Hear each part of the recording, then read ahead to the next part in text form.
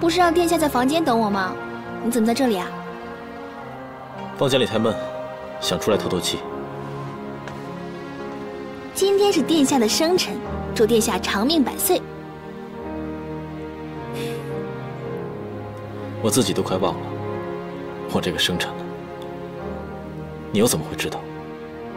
是宁静告诉我的。其实这个我早就做好了，本来打算一个人在这里给殿下过生辰的，没想到你来了。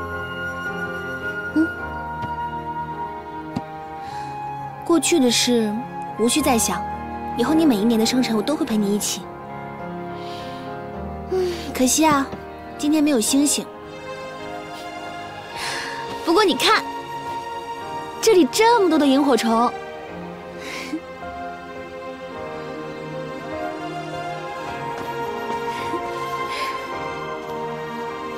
上次谁说过，惹我不高兴、生气，就让我罚他的？今天是你的生辰，你想怎么罚？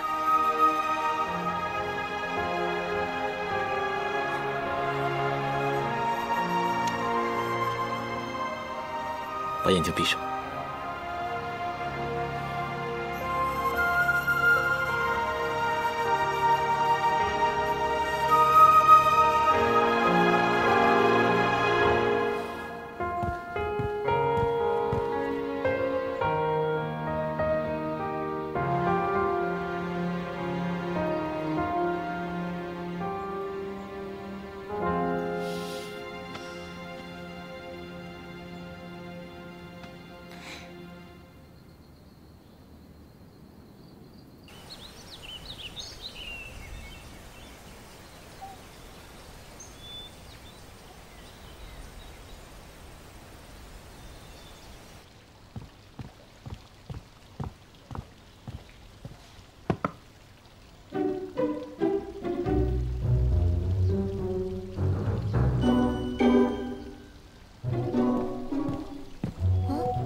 七少，你在看什么呢？嗯，哎，龙飞也走了吗？他和韩云溪已经回房间休息了。嗯，早餐我给你准备好了。好，知道了。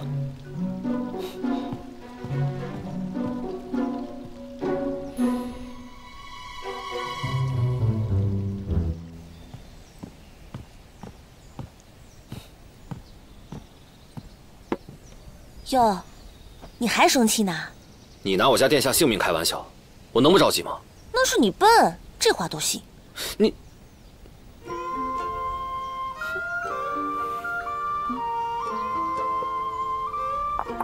那我就不吃了。谁让你在里面下面下毒？那你不吃算了。哎哎哎！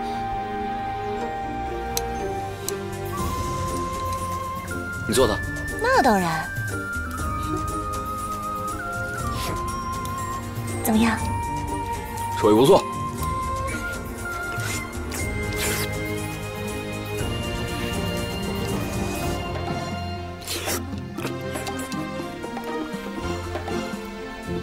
喏，尝尝我新酿的酒，味道如何？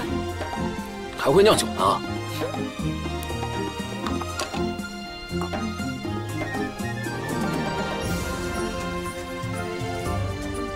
怎么样？还不错。还不错，那是好喝还是不好喝啊？还不错呢，就是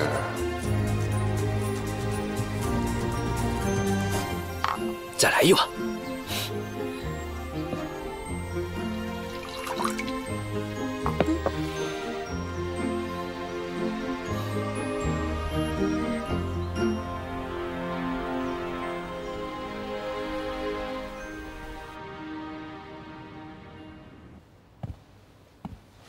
启禀父皇，昨夜安插在秦王府的探子来报，有两个黑衣人深夜偷偷从秦王府溜了出来。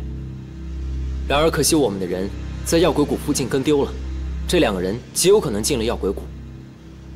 这药鬼谷毒气弥漫，贸然进去恐怕九死一生。所以儿臣已经派人在药鬼谷附近严密监视一切进出的人员。知道了。有事及时通报。遵命。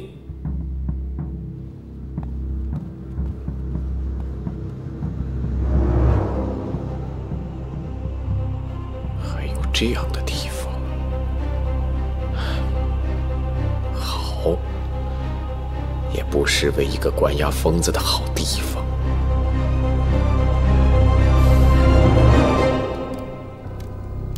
治疗癫狂癔症的药丸治好之后，由于药草之间的作用，按理说应该是灰褐色。虽然我做的颜色差不多，可是药效却完全没有。这个呢是需要一段时间，我要好好的研究研究。要多久？你这么着急啊？治病救人的药当然着急了。再说也不好耽误你啊。你是着急离开药鬼谷吧？这里毕竟不是秦王府，殿下老待在这儿不太方便。哎呀，好伤我的心啊！有用的时候求人，无用的时候踢走是吧？我也想在这儿多待几天，但我就是怕你跟殿下老这样见面，容易吵起来。他是什么性格，你是知道的。你再好好的想一想嘛。好好想想，又是好好想想，话都不能一次说个清楚。算了，还是医书好，什么疑难杂症都能从里面找到解决办法。龙脑、神曲、金箔，这些都是治疗疯癫的药。看来，毒宗就在龙飞叶的手里。殿下，太子果然把二皇子的罪证全都交了出来。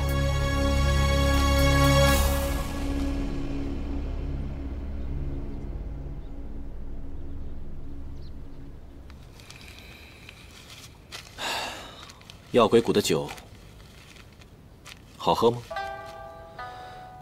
殿下，今天晚上我们还去药鬼谷吗？